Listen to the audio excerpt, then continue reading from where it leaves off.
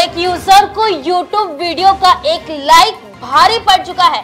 जो एक यूज़र ने पचास रुपए के चक्कर में अपने साढ़े आठ लाख रुपए गवा दिए हैं। जी हाँ आजकल देखा जाए तो ऑनलाइन पेमेंट करने से लोगों के लाखों रुपए गवाने के मामले बढ़ते हुए आ रहे हैं। और हाल ही में एक ऐसा मामला सामने आया, जिसमें गुरुग्राम का रहने वाला एक यूज़र उसने साढ़े आठ लाख रुपए गवा दिए हैं।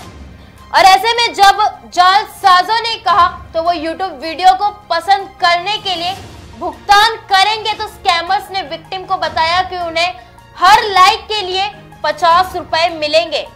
गुरुग्राम में रहने वाले एक यूज़र को स्कैमर ने कुछ यूट्यूब वीडियो को लाइक करने के पैसे कमाने का लालच दिया और उसने अपने साढ़े आठ लाख रुपए गवा दिए।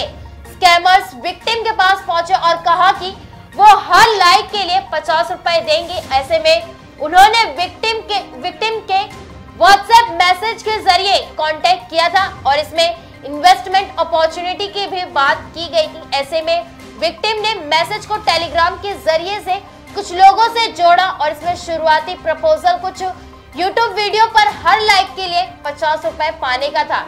और तीन दिन में तीन बार करीब साढ़े आठ लाख की ट्रांजेक्शन हुई।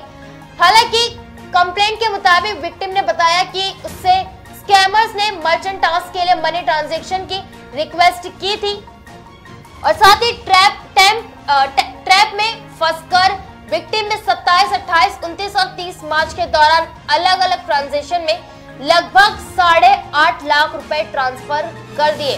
जी अब एक युवक को 50 रुपए के लालच में साढ़े आठ लाख रुपए गवाने पड़े। अब ऑनलाइन ट्रांजेक्शन ऑनलाइन स्कैमर से बचना बहुत ही मुश्किल हो गया है। एक युवक को यूट्यूब वीडियो लाइक करना भारी पड़ा।